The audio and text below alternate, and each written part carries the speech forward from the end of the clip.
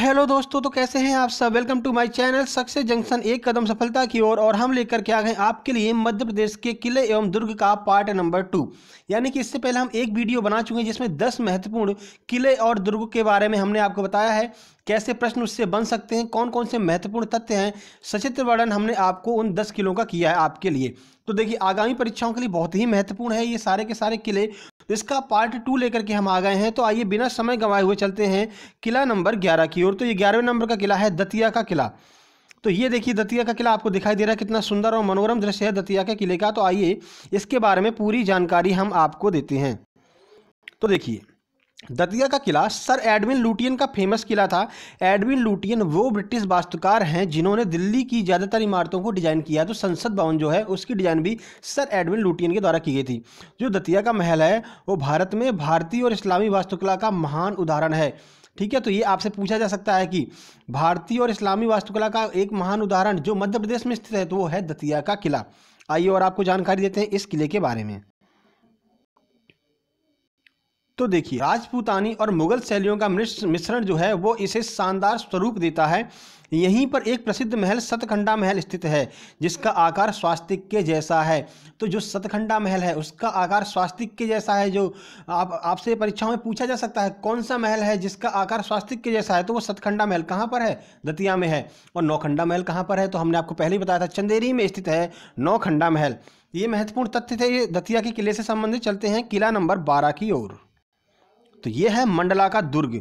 यह दुर्ग मध्य प्रदेश के मंडला ज़िले में स्थित है। देखिए, कितना सुंदर ये दिखाई दे रहा है। इसके पीछे नदी भी बह रही है। तो आइए पूरी जानकारी हम आपको देते हैं मंडला के दुर्ग के बारे में।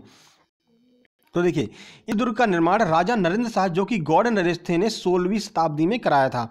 मंडला के किले में राज राजेश्वरी की स्थापना निज़ाम शाह ने करवाई थी। तो पूछा जा सकता है, राज राजेश्वरी किस किले में है? तो मंडला के दुर्ग में स्थित है राज राजेश्वरी। आइए और आपको जानकारी देते हैं। यहाँ पर बंजर नदी व नर्मदा नदी के संगम पर एक दुर्ग विद्वान है, जिसे मंडला का दुर्ग कहते हैं। तो पीछे जो नदी आपको दिखाई दे रही थी, वो कौन सी नदी थी? बंजर नदी और नर्मदा नदी दोनों का संगम था वहाँ पर। नर्मदा नदी से तीनों ओर से घिरे हुए तथा चौथी ओर गहरी खाई बनी हुई है। तो ये दुर्ग जो है, तीन ओर से नर्मदा नदी से घिरा हुआ है, ठीक है? क्योंकि संगम हो रहा है तो तीनों ओर से नदियों से घिरा है और चौथी ओर इसके खाई है। तो सबसे सुरक्षित यहाँ पर इस दुर्ग को माना जाता है।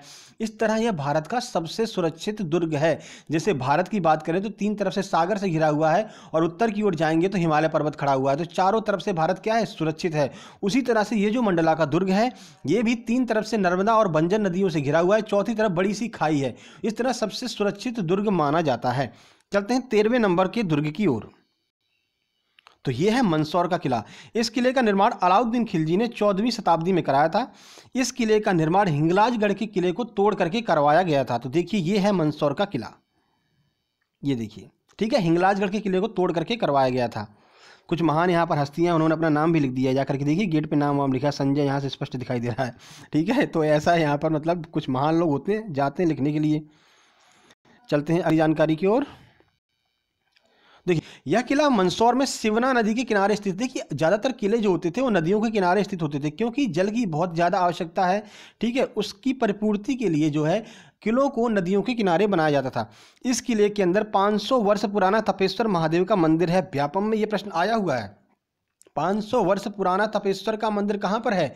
तो मंदसौर किले के अंदर है 500 वर्ष पुराना तपेश्वर महादेव का मंदिर। देखिए, इस किले में कुल बारह दरवाजे हैं जो मध्य प्रदेश के किसी भी किले में दरवाजों की संख्या में सर्वाधिक है। पाँच दरवाजे आपको ग्वालियर के किले में मिले थे, मगर इस किले में जो है बारह दरवाजे हैं। तो सबसे ज़्यादा दरवाजे हैं किलों की बात करते हैं मध्य प्रदेश में तो ठीक है? पूछा जा सकता है किस किले में सर्वाधिक दरवाजे हैं? तो आप आंसर लगाएँगे मंदसौर के किले में सर्वाधिक बारह दरवाजे हैं। चलते हैं चौदहवें नंबर के किले की ओर तो यह है हिंगलाजगढ़ का किला। ये देखिए। तो ये हिंगलाजगढ़ का किला है, देखिए कितना खूबसूरत दिखाई दे रहा है, चारों तरफ़ हरियाली भी है इसके, देखिए। बहुत खूबसूरत है ये हिंगलाजगढ़ का किला। आइए पूरी जानकारी आपको देते हैं इस किले के बारे में। तो देखिए, हिंगलाजगढ़ किला भानपुर मध्य प्रदेश के जिला मंदसौर में स्थित है। इसका निर्माण ग्यारहवीं शताब्दी में मालवा पर शासन करने वाले परमार राजाओं ने करवाया था। मध्य प्रदेश के मंदसौर ज़िले के भानपुरा तहसील की नावली गाँव में यह एक पहाड़ी पर बना हुआ है। इस महल में चार प्रमुख दरवाजे हैं, ठीक है? तो दरवाजों के नाम आपसे पूछे जा सकते हैं। तो पाटन पोल दरवाज़ा, सूरज पोल दरवाज़ा, कटरा पोल दरवाज़ा और मंडलेश्वरी दरवाज़ा, ये चारों के चारों दरवाजे इस किले के अंतर्गत ही आते हैं। तो चारों दरवाजों के नाम आपको याद होना चाहिए। चलते हैं अगले किले की ओर। तो पहले नंबर का किला है नरवर का किला। बहुत ही खूबसूरत और बहुत ही महत्वपूर्ण है ये नरवर का किला आपको यहाँ पर जो दिखाई दे रहा है। तो कहाँ पर स्थित है? तो नरवर का किला शिवपुरी के उत्तर में नरवर नामक स्थान पर स्थित है। देखिए। इस किले का निर्माण राजा नल ने करवाया था। इस किले का निर्माण आठ किलोमीटर के क्षेत्र में हुआ जैसा कि आपको ऊपर चित्र में दिखाया ही गया कितनी ज़्यादा क्षेत्र में यहाँ पर विस्तार है नरवर के किले का। इस किले के अंदर कुछ दर्शनीय स्थल हैं। कटोरा ताल, राजा नल की जो राजा के नल के पुत्र थे, उन डोला, उनका दरबार है और पसर देवी का मंदिर भी इसी के अंतर्गत आता है। देखिए, इस किले आठ कुएँ हैं और नौ बावड़ियाँ हैं नरवर के किले में। तो महत्वपूर्ण है ये नरवर का किला। पूरी जो तथ्य थे, जानकारियाँ थी, वो हमने आपको दे दी हैं। अगला किला है मकडाई का किला। तो ये किला एम पी में आया हुआ था। मकडाई का किला कहाँ पर स्थित है? सीधे सीधे प्रश्न आया था तो ये आपको दिखाई दे रहा है मकडाई का किला। आइए पूरी जानकारी आपको हम देते हैं। इस किले का निर्माण हरदा ज़िले में हुआ। इस किले का निर्माण राजा मकरंद शाह के द्वारा नर्मदा नदी के किनारे करवाया गया था। जैसा कि हमने आपको बताया, नदियों के किनारे किले ज़रूर बनवाए जाते थे तो नर्मदा नदी के किनारे इस किले का निर्माण राजा मकरंद शाह ने करवाया था। इस किले को पिंडारी लोगों के हमले से बचने के लिए निर्मित कराया गया था। तो पहले जो है पिंडारी लोग यहाँ पर मध्य प्रदेश पर आक्रमण करते थे तो उनके आक्रमण से बचने के लिए इस किले का निर्माण करवाया गया था राजा मकरंद शाह के द्वारा। इस किले के अंदर चार द्वार हैं। चार द्वार भवन है, राज परिवार का निवास स्थान है, बुर्जो एवं विशाल की बावड़ियाँ भी स्थित हैं। तो पूछा जा सकता है, बुर्जो एवं विशाल की बावड़ियाँ किस किले में है? तो इसी किले के अंतर्गत आती हैं बुर्जो एवं विशाल की बावड़ियाँ। अगला किला है सत्रह नंबर का गोहत का किला। देखिए, ये है गोहत का किला, आपको दिखाई दे रहा है यहाँ पर, खूबसूरत है ये गोहत का किला। तो देखिए, यह किला भिंड ज़िले की गुणवत्ता तहसील में बना हुआ है। देखिए भिंड ज़िले में बना हुआ है ये, तहसील का नाम यहाँ पर गलत हो गया, उसको छोड़ दीजिए। तो भिंड ज़िले में बना हुआ है, आपसे पूछा जा सकता है, ठीक है? इस किले का निर्माण 1505 ईस्वी में जाट राजा सिंहदेव द्वितीय, भीम सिंह राणा द्वारा करवाया गया था। तो किसने करवाया था यहाँ पर? सिंहदेव द्वितीय ने इसकी नींव डाली थी और भीम सिंह राणा ने इसको पूरा करवाया था। कौन सा? गोहत का किला, ठीक है? तो भिंड ज़िले की गोहत तहसील में यहाँ पर स्थित है। गोहत का ये किला, ये गुणवत्ता तहसील नहीं है, यहाँ पर गोहद तहसील है, आप मतलब करेक्शन कर लीजिएगा। टाइप राइटर भी कुछ भी लिख देते हैं। देखिए, यह किला लगभग पाँच किलोमीटर के क्षेत्र में फैला है। विशाल आकार के इस किले में प्रवेश के लिए ग्यारह दरवाजे हैं, जिनके नाम यहाँ के गाँवों के नाम पर रखे गए हैं। तो आपसे पूछा जा सकता है, कौन से किले के दरवाजों के नाम, गाँवों के दरवाजों के नाम पर लिखे गए हैं? तो गुहत के किले का नाम, किले के जो दरवाजे हैं, उनका नाम वहाँ स्थित गाँवों के नाम पर रखे गए हैं और ग्यारह गाँव हैं और ग्यारह दरवाजे हैं। इस किले के बगल से ही बेसली नदी बहती है। तो कौन सी नदी बहती है? बेसली नदी बहती है। प्रश्न आया हुआ है, बेसली नदी कहाँ पर बहती है? तो गोहद में बहती है बेसली नदी गोहद के किले के बगल से। तो नदियों की जो छोटी छोटी नदियाँ, इनसे संबंधित प्रश्न पूछ लिए जाते हैं। एम पी के ये फेवरेट प्रश्न होते हैं, जो आपको परेशान करते हैं। देखिए, अपनी विशेष निर्माण एवं वास्तु के लिए 2017 में UNESCO Asia Pacific heritage award मिल चुका है गोहत के किले को। तो महत्वपूर्ण है 2017 में UNESCO Asia Pacific heritage award मिला हुआ है गोहत के किले को। चलते हैं अठारह नंबर की ओर तो ये है सबलगढ़ का किला। जैसा कि आपको यहाँ पर दिखाई दे रहा है, सबलगढ़ का किला। आइए जानकारी देते हैं। तो मुरैना के सबलगढ़ नगर में स्थित जिला मुरैना से लगभग 60 किलोमीटर दूरी पर यह किला स्थित है, सबलगढ़ का किला। इस किले की नींव सबला गुर्जर ने डाली थी, जबकि करौली के महाराज गोपाल सिंह ने 18वीं शताब्दी में इसे पूरा करवाया था। तो अठारहवीं शताब्दी में बनकर के पूरा हो गया, नींव डाली थी सबला गुर्जर ने। कुछ समय बाद सिकंदर लोधी ने इस किले को अपने नियंत्रण में ले लिया था। देखिए, सबलगढ़ का जो किला है, वो राजस्थानी शैली में बनाया गया है। इस किले के अंदर प्रवेश करने के तीन दरवाजे हैं और कई मंदिर भी इस किले के अंदर मौजूद हैं। इसमें जगन्नाथ जी का मंदिर प्रमुख है तो आपसे पूछा जा सकता है, जगन्नाथ जी का मंदिर किस किले के अंतर्गत पाया जाता है? तो सवलगढ़ के किले के अंदर है जगन्नाथ जी का मंदिर।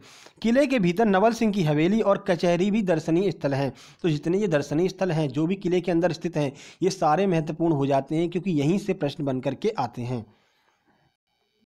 किले पीछे सिंधिया काल में बना हुआ एक बाँध है, जहाँ की सुंदरता देखती ही बनती है। उन्नीसवें नंबर का किला है, अटेर का किला। ये देखिए, कितना भव्य है यहाँ पर, अटेर का किला। आइए पूरी जानकारी आपको देते हैं।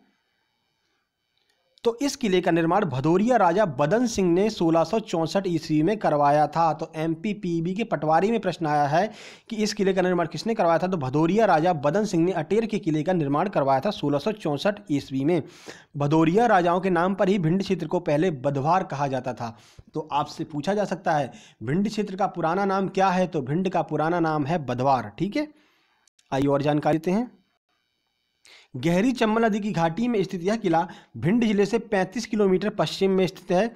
यह हिंदू और मुगल स्थापत्य कला का बेजोड़ नमूना है। अटेर का किला चंबल नदी के किनारे देवगिरी की पहाड़ी पर स्थित है। इसलिए इस किले का मूल नाम देवगिरी दुर्ग है। तो आपसे ये भी पूछा जा सकता है कि अटेर के किले का मूल नाम क्या है? तो देवगिरी दुर्ग कहते हैं अटेर के किले को। खूनी दरवाज़ा इसी किले के अंदर स्थित है, जो बहुत ही ज़्यादा प्रसिद्ध है। तो एमपीपीएससी लगभग 2014 या 15 में प्रश्न आया होता, खूनी दरवाज़ा कहाँ पर स्थित है? तो अटेर के किले के अंतर्गत स्थित है यहाँ पर खूनी दरवाज़ा। तो महत्वपूर्ण है, आप अपने दिमाग में इस जो पॉइंट है खूनी दरवाज़ा वाला, वो ज़रूर फिट कर लीजिएगा, क्योंकि आगामी परीक्षाएँ आने वाली हैं जो भी उनमें आपसे खूनी दरवाज़ा के बारे में पूछा जा सकता है। बहुत रिपीटेड प्रश्न है। देखिए, ये थे महत्वपूर्ण किले जो हमने आपको बताए हैं बड़े बड़े किले। कुछ छोटे किले भी हैं जिनके बारे में पूछा जा सकता है आपसे कि कहाँ पर स्थित है, इतना ही पूछते हैं इनके बारे में। तो आइए, वो चार पाँच जो छोटे किले हैं उनके बारे में भी हम आपको जानकारी दे देते हैं, जिससे एक भी प्रश्न आपका गलत नहीं होना चाहिए, मध्य प्रदेश पर्यटन से संबंधित। देखिए, अहिल्या का किला कहाँ पर है? तो महेश्वर में स्थित है अहिल्या का किला। बजरंगगढ़ का जो किला है, वो गुना ज़िले में स्थित है और गढ़ कुंडार का किला टीकमगढ़ में स्थित है। मांडू का किला धार में स्थित है। तो ये चार पाँच किले थे। और ओरछा किला ओरछा में स्थित है, जिसे वीर सिंह मुंदेला ने बनवाया था। तो देखिए ये महत्वपूर्ण जानकारी थी किलों से संबंधित। यहाँ पर किलों के टॉपिक को हम बाइंड अप कर रहे हैं और ये आपको हम बता देते हैं कि किले से जो भी प्रश्न बनेंगे, वो एक भी प्रश्न इस वीडियो से बाहर नहीं जाने वाले हैं। दोनों वीडियो आप अच्छे से देख लीजिएगा। इससे पहले हम झरनों की वीडियो भी बना चुके हैं, जलप्रपात की वीडियो, वो भी जा करके आप देख लीजिएगा। तो कोई भी प्रश्न, जो टॉपिक हम क्लियर कराते चल रहे हैं, कोई भी प्रश्न इससे बाहर नहीं जाने वाला है। उसके बाद हम आपको बता देते हैं, इनसे जब ये थ्योरी जो क्लास थी ये कंप्लीट हो गई है, इसके बाद इसकी ऑब्जेक्टिव क्लास लेकर के आएँगे जो भी प्रश्न परीक्षाओं में आए हुए हैं, उन सारे प्रश्नों को हम यहाँ पर सॉल्व कराएँगे रैपिड फायर राउंड में। ठीक है तो आप बिल्कुल चिंता मत कीजिए।